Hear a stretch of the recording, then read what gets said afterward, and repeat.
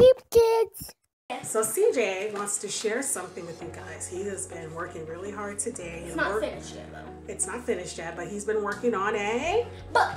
about Prehistoric sharks. prehistoric sharks. What's the name of the book? Beware of Helicoprion and other prehistoric sharks. Cool. Would you like to show them a little bit of it? Oh yeah, and it's like the sharks in every page are smooth, so I put tape on them, and every shark is smooth. But let's start with, of course, Helicoprion. What's page one? Page one.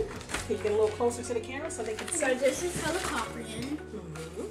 Can you tell us a little bit about Helicoprion? He has What a is he? Saw, he's a shark and he has a saw blade in his mouth, he has a saw blade in his mouth. And he Can you show them? he- Show closer so they can see the saw blade. Really close up. You guys, you see the saw blade? Yeah. So anybody that knows CJ, and I've shared with you guys too before, he loves dinosaurs and anything prehistoric. So now he is working on a book um, About prehistoric about sharks. prehistoric sharks. And Helicoprion is one. Can I tell you something, guys? I don't want to be making another one. I haven't started it yet. When I finish this book, I'm going to do it. I'm going to make another book called Beware of Sarcosuchus and Other Prehistoric Crocodilians. So crocodile, prehistoric crocodiles are next. But he's gonna finish, he's been drawing the pictures for this book today. These are basically paleo art. Are you gonna add some um, words? Yeah, I haven't done So it yet, though. he's gonna I'm going to do backgrounds for sharks. He's gonna add some words and do a little bit more um, animal art to the pages. Yeah. Um, so you guys be on the lookout for when he finishes his book. He'll share it with you guys. Should I show them more should I just show them the first page? I Just show him the first page. Little teaser, little teaser. Yeah. Maybe we gotta show him one more. Okay.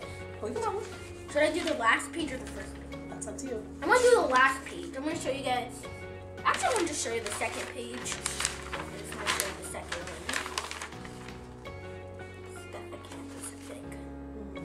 Think. Stethacanthus. So this- Stethacanthus is next. This shark is a Stethacanthus. Mhm.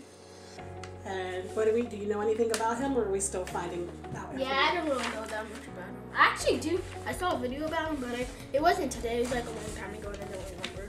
So we have to look up a little bit more information about Stethacanthus, and then we will let you guys know. But Tybotus is in the book. Shark. I don't know okay, hold on. Good talks. So guys, we're gonna say thank you for hanging out with us again. Thank you for hanging out with us today.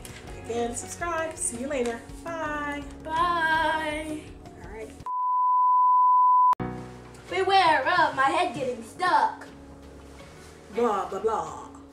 Oh, but Why are you upside down? I wasn't trying. I'm okay. oh my goodness. Thanks for watching. Please subscribe.